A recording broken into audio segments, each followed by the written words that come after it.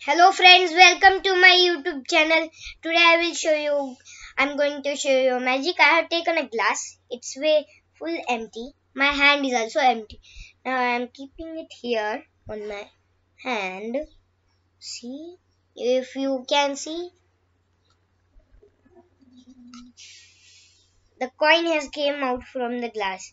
Now one more time I am keeping the glass there upper Mm, now see, the coin is gone.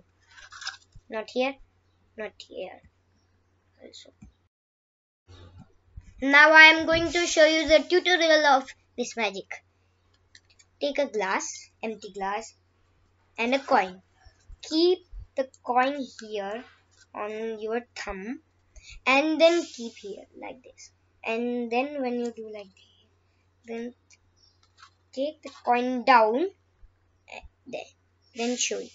And one more time keep it on the coin and take here and show it. The glass is empty and hand is also empty. Thank you for watching my video